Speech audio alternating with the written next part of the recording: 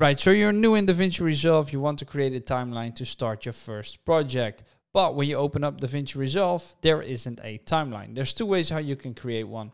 Right now I'm in the edit tab and I'm here at the master bin.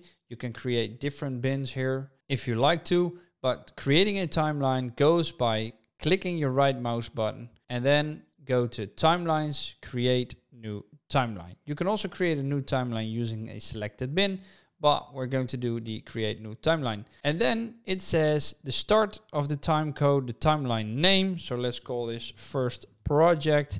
Number of video tracks, let's make this two because you've got a main track and then you've got an overlay. Maybe you want to have an adjustment layer for colors or you're going to add some lower thirds. We're going to add in two audio tracks as well. And we want the audio track to be stereo. We want an empty timeline and we want to use the project settings. Now, if you want to know the project settings, there's this gear icon right here that you can't click when you're in this menu. So you need to know before, but let's hit create and you see we've got a timeline here. Now, if we click this gear icon, we can see in the master settings, we see we've got a timeline resolution of 1920 by 1080 and we've got a 25 frames per second timeline.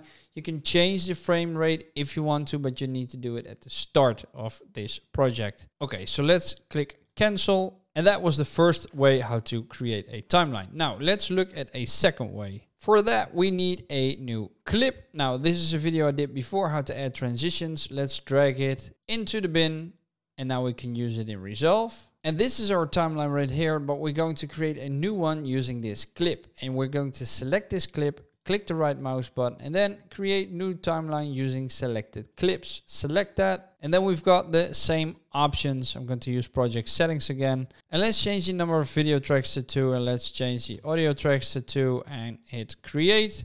And then we see we've got a second timeline. Now the second timeline automatically inserts the clip if we want to go back to the first timeline, we need to double click it and we're back at our empty timeline again. And that's how you do it.